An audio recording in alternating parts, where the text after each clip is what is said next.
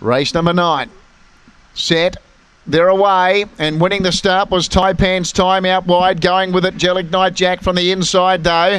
Uh, up there with them was Chris Tyson. Next was Bradley and Go You Girl last as they come into the home straight the first time.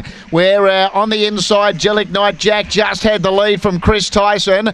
Uh, going to third, then was Bradley Bale. Go You Girl trying to wind up, dropping out last. Taipan's time. They run into the back. Gelignite Jack led Chris Tyson. Then Bradley Bale. Go You Girl still with a lot of work to do. They run off the back. This leader, Knight Jack, still defying them here. Led by five or six to Chris Tyson, Go You Girl, and Bradley Bale. But Knight Jack, one of the roughies. Gelignite Jack wins from Go You Girl. Bradley Bale third. Chris Tyson fourth. And Taipan's time was last in. And the gallop here is 43.53. Knight Jack never really going to lose.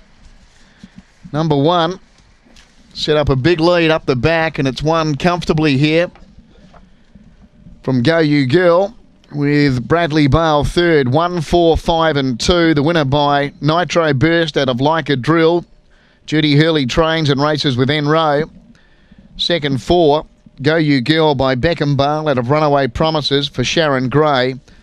And five, Bradley Bale by Radley Bale out of Bitten for Wendy Matcott.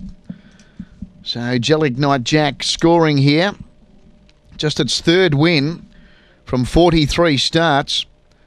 Had one here previously, though, off the red in 43 41. In fact, it's only three wins have come off the red. It also won a 600 metre event off the red. So, yes, box one, and it's used it to advantage, winning here tonight.